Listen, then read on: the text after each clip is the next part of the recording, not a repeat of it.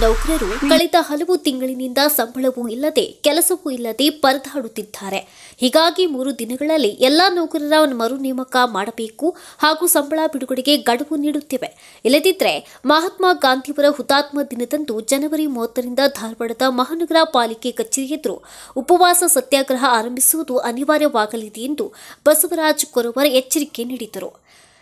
ಅವರು ಸುದ್ದಿಗೋಷ್ಠಿಯಲ್ಲಿ ಮಾತನಾಡಿ ಮೇಯರ್ ಇರೇಶನ್ ಚಿಟ್ಕಿರಿ ಹಾಗೂ ಜಿಲ್ಲೆಯ ಜನಪ್ರತಿನಿಧಿಗಳು ಟಿ ಕಂಪನಿಯ ಪರ ವಕಾಲತ್ತು ವಹಿಸಿದ್ದರಿಂದ ಸಮಸ್ಯೆ ಉಲ್ಬಣವಾಗಿದೆ ಎಂದು ಆರೋಪಿಸಿದರು ಈ ಬಗ್ಗೆ ಮಹಾನಗರ ಪಾಲಿಕೆ ಕಚೇರಿ ಎದುರು ಡಿಸೆಂಬರ್ ಹತ್ತೊಂಬತ್ತರಂದು ಬೃಹತ್ ಹೋರಾಟ ನಡೆಸಿದಾಗ ಮೇಯರ್ ಇರೇಶನ್ ಚಿಟ್ಕಿರಿ ಅವರು ತಕ್ಷಣ ಸಂಬಳ ಬಿಡುಗಡೆಗೆ ಕ್ರಮ ಜರುಗಿಸುವುದಾಗಿ ಹಾಗೂ ಪುನರ್ ನೇಮಕ ಸರ್ಕಾರಕ್ಕೆ ಕುರಿತು ಪ್ರಸ್ತಾವನೆ ಸಲ್ಲಿಸುವುದಾಗಿ ಭರವಸೆ ನೀಡಿದ್ದರು.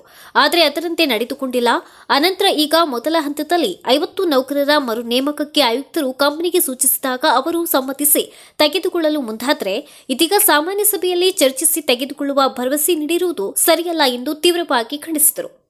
ಮಾಜಿ ಸಿಎಂ ಜಗದೀಶ್ ಶೆಟ್ಟರ್, ಕೇಂದ್ರ ಸಚಿವ ಪ್ರಹ್ಲಾದ ಜೋಶಿ, ಧಾರವಾಡ ಪಶ್ಚಿಮ ಶಾಸಕ ಅರವಿಂದ್ ಬೆಲ್ಲದವರ ಮನೆಗೆ ಹೋಗಿ ವಸ್ತುಸ್ಥಿತಿಯ ಕುರಿತು ಗಮನ ಸೆಳೆದಿದ್ದೇವೆ.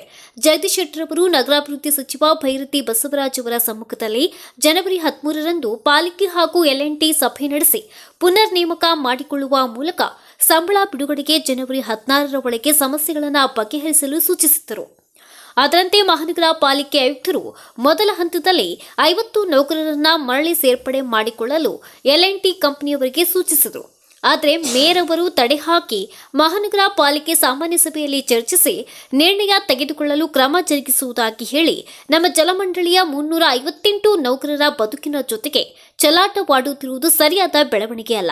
ಇದನ್ನ ನಾವು ತೀವ್ರವಾಗಿ ಖಂಡಿಸುತ್ತೇವೆ. ತಮ್ಮ ವೈಯಕ್ತಿಕ ಹಿತಾಸಕ್ತಿಗಾಗಿ ನೂರಾರು ನೌಕರರ ಬದುಕನ್ನ ಬೀದಿಗೆ ತಳ್ಳಿರುವುದು ಯಾವ ನ್ಯಾಯ ಎಂದು ಪ್ರಶ್ನಿಸಿದರು. ಇನ್ನು ಇದರಿಂದಾಗಿ ಅವಳಿ ನಗರದ ಲಕ್ಷಾಂತರ ಜನತೆಗೆ ದಿನನಿತ್ಯ ನೀರಿನ ತೊಂದರೆ ಆಗುತ್ತಿದೆ. ಇಷ್ಟೆಲ್ಲ ಗಂಭೀರ ಸ್ವರೂಪದ ಸಮಸ್ಯೆ ಇದ್ರೂ ಕೂಡ ಸರ್ಕಾರದ ಆದೇಶವನ್ನ ಗಾಳಿಗೆ ತುರಿದ ಮಹಾನಗರ ಪಾಲಿಕೆ ಹಾಗೂ ಎಲ್ಎನ್ಟಿ ಕಂಪನಿಯು ತಕ್ಷಣವೇ ಮೂರು ದಿನದ ಒಳಗೆ ಇವರಿಗೆ ಪುನರ್ ನೇಮಕ ಮಾಡಿಕೊಳ್ಳುವ ಮೂಲಕ ಸಮಸ್ಯೆ ಬಗೆಹರಿಸಬೇಕು. ಜೊತೆಗೆ ತಕ್ಷಣ ಸಂಬಳ ಬಿಡುಗಡೆಗೊಳಿಸಬೇಕು. ಇಲ್ಲದಿದ್ದರೆ ಮಹಾನಗರ ಪಾಲಿಕೆ ಸಾಮಾನ್ಯ ಸಭೆಗೆ ಮುಕ್ತಿಗೆ ಹಾಕಲಾಗುವುದು. ಅಮರಣಾಂತರ ಉಪವಾಸ ಸತ್ಯಾಗ್ರಹವನ್ನು ಆರಂಭಿಸುವುದು ಅನಿವಾರ್ಯವಾಗಲಿದೆ ಎಂದು ಜನಜಾಗೃತಿ ಸಂಘದ ಅಧ್ಯಕ್ಷರಾದ ಬಸವರಾಜ್ ಕುರುವರ್ ಎಚ್ಚರಿಸಿದರು. ಪತ್ರಿಕಾಗೋಷ್ಠಿಯಲ್ಲಿ ಜನಜಾಗೃತಿ ಸಂಘದ ಉಪಾಧ್ಯಕ್ಷ ನಾಗರಾಜ್ ಕಿರಣಗಿ, ಪ್ರಧಾನ ಕಾರ್ಯದರ್ಶಿ ರಾಘವೇಂದ್ರ ಶೆಟ್ಟಿ, ಜಲಮಂಡಳಿಯ ಹಂಗಾಮಿ ನೌಕರರ ಸಂಘದ ಅಧ್ಯಕ್ಷ ಮಹಾಂತೇಶ್ ಗೌಡರ್, ಆನಂದ್ ಕಾಳಮ್ಮನವರ್, ಪ್ರದೀಪ್ ಮಾಡೊಳ್ಳಿ ಮಹೇಶ್ ಮೇಲಿನ್ಮನಿ, ಶೇಖಣ್ಣ ಬಿಟಗೇರಿ ಉಪಸ್ಥಿತರಿದ್ದರು.